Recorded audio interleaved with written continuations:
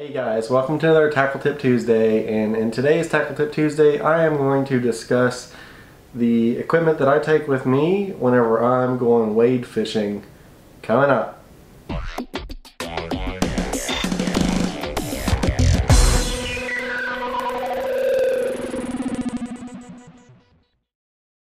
So guys, if you've seen my recent videos, um, I've not had a kayak for a while. Um, so I have been going out and wade fishing, but kind of want to discuss some of the things that I take out with me whenever I'm wade fishing. So um, you don't really want to take a ton of rods with you. Um, the more rods you take, the more trouble it's going to be. I would say max is three, three different rods. And for me currently, like during the summer situation where I'm at right now, um, I've got this uh, medium light rod with a nice uh, KastKing Sharky reel. Sorry, I need to retie this.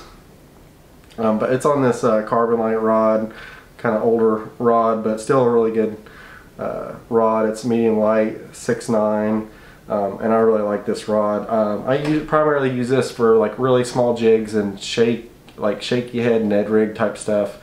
Um, so usually like I'll have a Ned rig tied on this one, and then on this other carbon light rod um, is where, uh, poopy. Dad burn it, got all tangled up down here.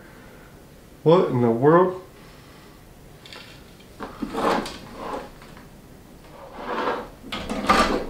All right, now we got that untangled. Uh, this is my other rod I usually do with like a small tube. Um, like I have one here, um, braided, 20 pound braided, bright, braided line on each rod with a fluoro or mono leader. Um, but this is I could use for bigger soft plastics also. Um, also fish some like little hard bait minnows on these. Um, but I really like spinning gear for fishing in the stream. And set that bad boy over there. Come on.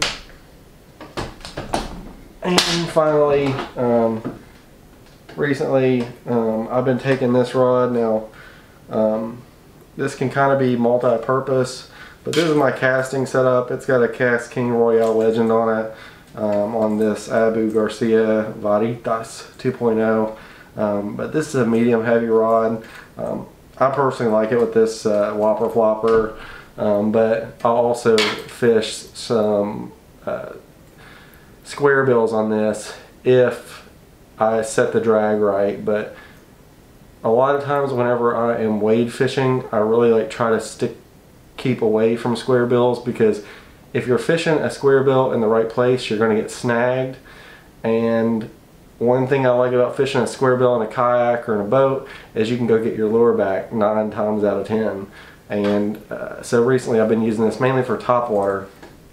But um, I do take uh, just a basic, this is a basic backpack from when I was in the army but I always put in here make sure that I have my leader material.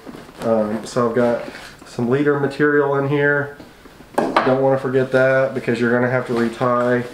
I've got a pair of hemostats a little pair of scissors and these all are on clips so I can clip them to the backpack to make sure I don't lose anything. Um, I've got another thing a leader. This is mono. Um, and inside of it, let's see here, I've got my another camera mount thing that I can use to film with. And then in here, um, the main thing that I stick with is like small soft plastics, my crawl chunk box, obviously my tube box, and then recently I've been doing like a top water box with some buzz baits. And then I have my terminal tackle box in here with all my jig heads and stuff and hooks. So biggest thing I found is that the best thing you can do is just keep your system simple. Don't try to take too much gear because you're going to regret it. Nine times out of ten, I catch the majority of my fish on like two or three lures and uh, it's a lot more fun that way. So guys, if you get a chance, go out and go stream fishing. It's a lot of fun. Even if you're wade fishing, find a good access spot to go wade fishing. It's so much fun. Minimize that gear that you take with you. I would take two or three rods, nothing more. And just keep your system simple so that you can have a really good time. Um, as always guys, I appreciate you guys watching. If you like this video, please hit that like button. If you enjoy my videos and you don't want to miss any, please hit that subscribe button. And as always guys, get outside, do something awesome, and take somebody with you if you get a chance. I'll see you guys in the next one.